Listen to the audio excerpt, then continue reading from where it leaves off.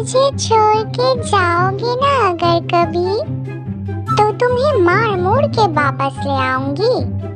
समझे मोटू?